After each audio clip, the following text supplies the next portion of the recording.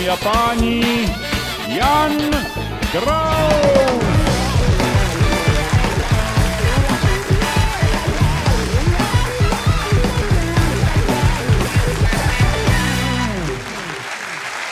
Dobrý večer, dámy a pánové, děkuji úctivě, dobrý večer.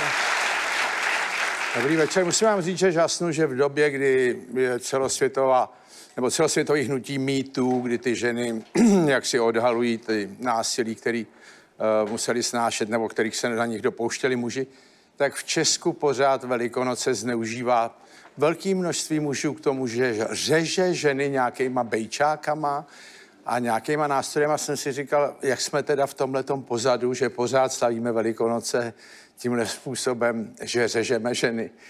Myslím si, že další malér budou Vánoce, zabíjení kaprů před dětma bude taky katastrofa.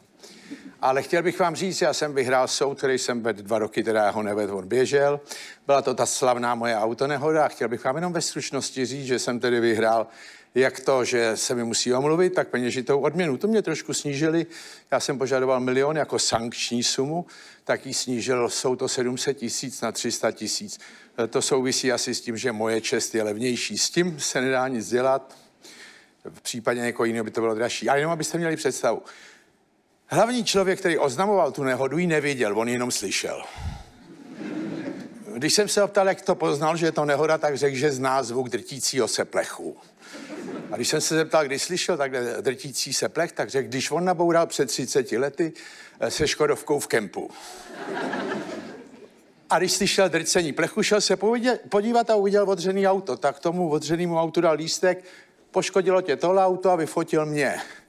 Policisti promptně řekli, podle značky to je Kraus. Jediný, co neměli říct, je jméno, ale to hned řekli.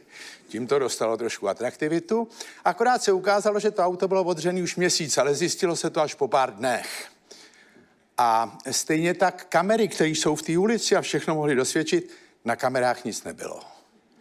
Čili udělali jste nehodu, někdo ji slyšel a v novinách psali, že jsem si to ještě prohlížel, jak jsem to auto odřel. Uchyla. Ha.